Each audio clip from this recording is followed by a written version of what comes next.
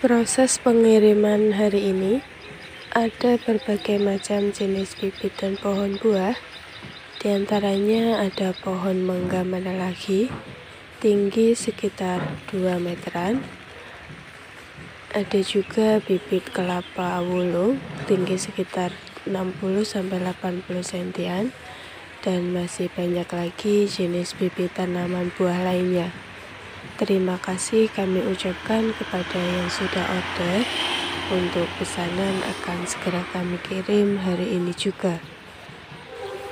Untuk info stok dan pemesanan, bisa langsung menghubungi nomor yang tertera di dalam video maupun di dalam deskripsi.